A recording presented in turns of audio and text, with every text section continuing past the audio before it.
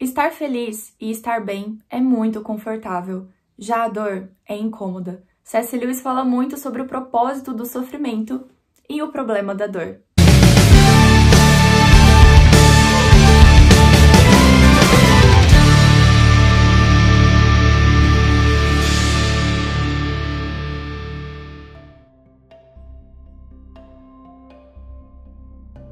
Olá, pessoal do TT! Eu sou a Gabi do canal Falei com Amor e hoje vamos conversar sobre como C.S. Lewis respondeu aquela pergunta que todos nós já fizemos: se Deus é bom e todo-poderoso, por que ele permite que suas criaturas sofram?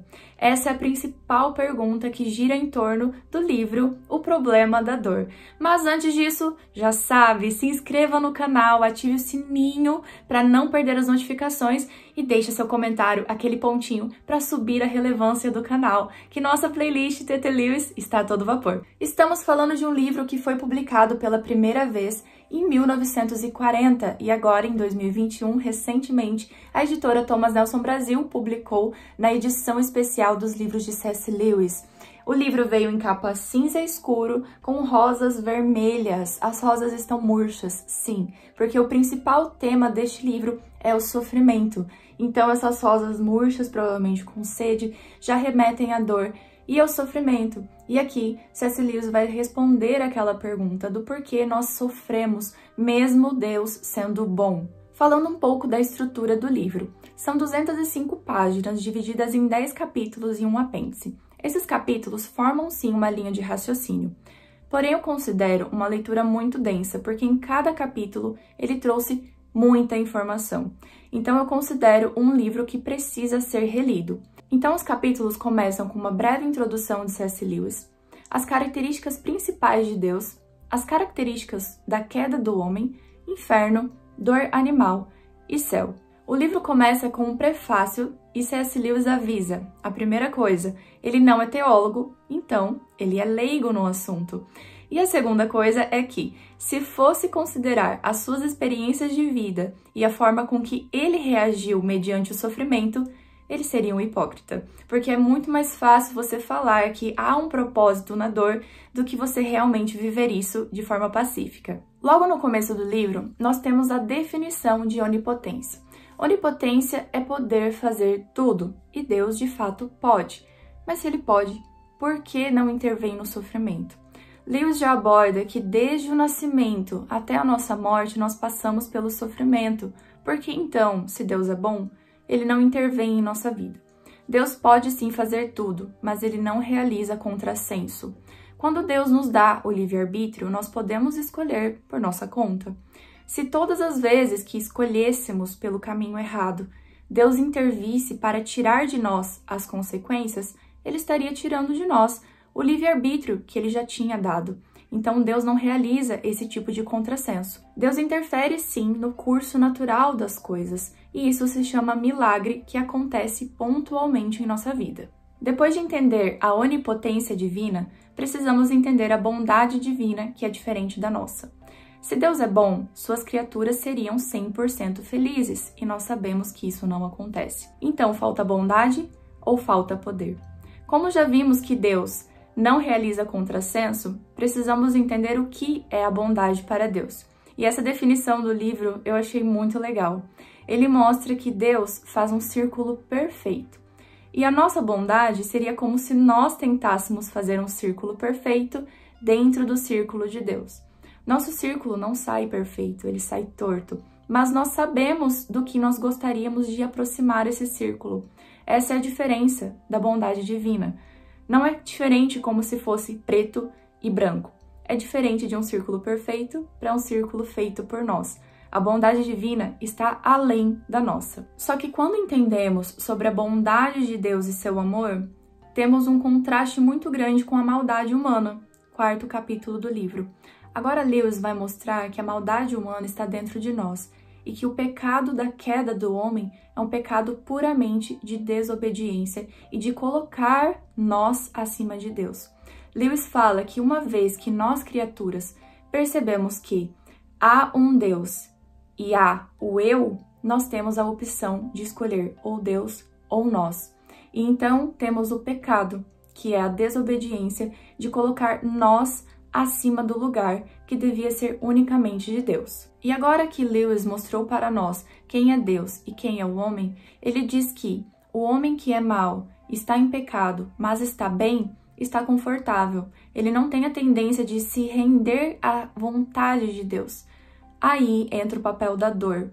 A dor e sofrimento têm o papel de nos incomodar e de nos mostrar que algo está errado. Porque o pecado tem essa propriedade. Quanto mais profundo e intrínseco no nosso coração, mais mascarado ele está, menos percebemos que ele está lá. Já a dor não. Qualquer resquício de dor que o ser humano sinta, ele percebe de que algo está errado e ele tem vontade de mudar essa dor que está sentindo. A dor não é boa.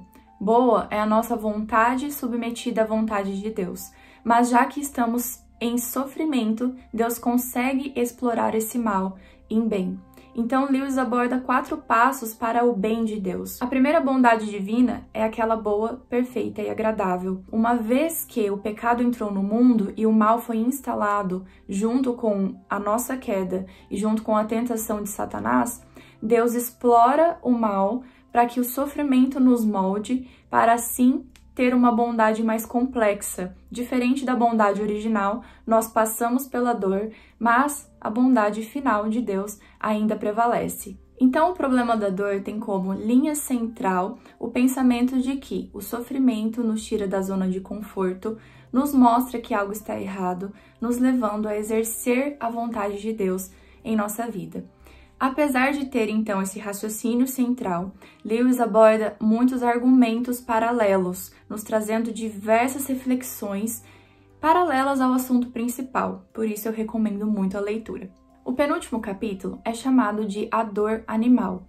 Eu achei um capítulo um pouco desconexo com o assunto principal, mas extremamente necessário e foi o meu capítulo favorito. C.S. Lewis sempre traz em seus livros que nós, seres humanos, somos animais com instintos. Mas essa foi a primeira vez que eu vi Lewis defendendo fortemente os seus animais de estimação. Ele acredita que os nossos pets vão ser ressuscitados juntos com seus mestres. Ele defende isso utilizando a Bíblia, a passagem que diz: Não mais eu, mas Cristo vive em mim. Uma vez que Cristo vive em nós e nós vivemos nele, ele é nosso representante. Não faria sentido animais não pensantes serem ressuscitados. Ele até cita o exemplo da lacraia. Se você ressuscita a lacraia na ressurreição final de Deus, ela não vai saber quem ela era, não vai saber quem ela foi, o que ela fazia e nem sequer que ela é uma lacraia.